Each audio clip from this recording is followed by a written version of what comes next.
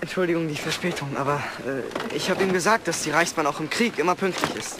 Das Wetter wird schlecht und wir mussten nur das Heu anbringen. Madame la Comtesse. François Beauvais.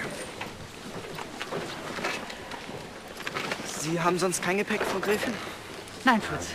Ich habe sonst nichts. Kommen Sie. Danke sehr. Leider kein Auto. Weil nicht mehr genug Benzin.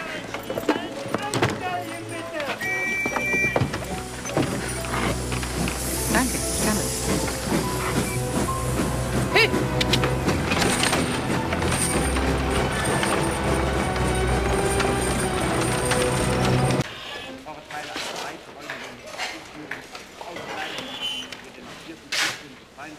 Die Männer arbeiten hart, haben Hunger.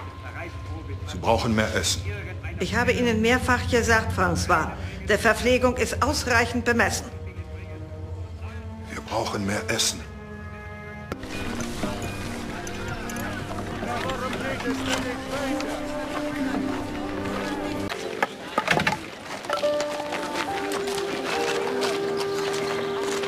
Alle werden ihm gut verköstigt und können im Speicher übernachten. Fritz, du besorgst Decken und... Das Holz ist faul. Besser Gummiräder. Wenn die Russen kommen, sind alle tot. Vor allem Russen tot. Weil sie denken, wir Verräter. Verstehen? Kein Russe kommt hierher.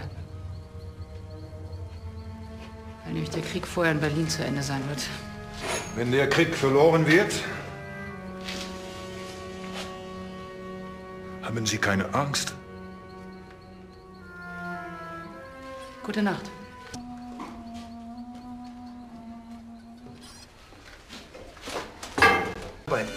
Nach Essen. Hast du ihr gesagt die ganze Wahrheit? Hä?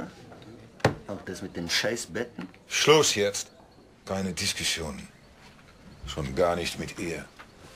Es gibt von diesen Aristokraten keine Solidarität zu erwarten.